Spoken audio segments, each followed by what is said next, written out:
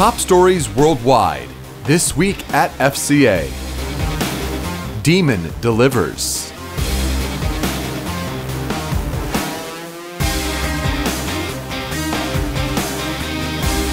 Fastest SUV ever. Simply sublime.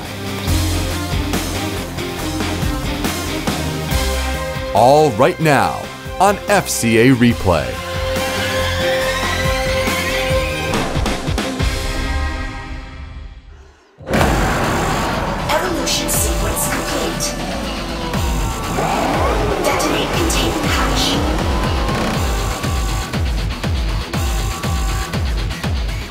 The demon has been unleashed, and now the performance car industry is taking notice. Just before the New York International Auto Show, Dodge officially revealed the 2018 Challenger SRT Demon and finally confirmed some jaw dropping numbers.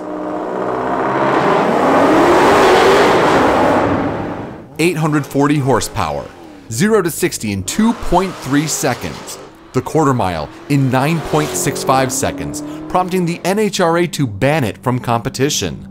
770 pounds-feet of torque, 1.8 Gs during acceleration. These are all among the Demon's many production car records, making it highly capable on the street, yet absolutely dominating at the drag strip. For those in the know, it takes a demon to deliver heaven on earth. It takes a car like this to deliver the records, the headlines, and the truth. And if that's not enough power for you, there's the Jeep Grand Cherokee Trackhawk.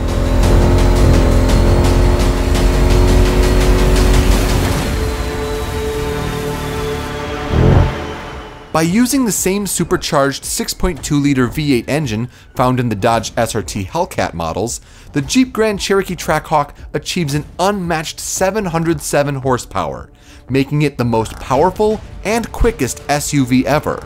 0 to 60 in 3.5 seconds, top speed of 180 miles an hour. There's no competition, especially when you combine it with all the luxury features and capability that Grand Cherokee is known for. So, in my view, this is the ultimate performance SUV and one of the fastest ways I know to put a smile on your face.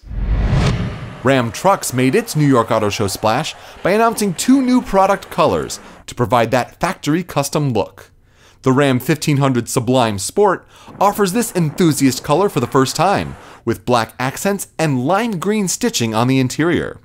Meanwhile, Ram 1500 Rebel Blue Streak stands out with its special paint color, as well as the Rebel Black appearance package and an all black interior.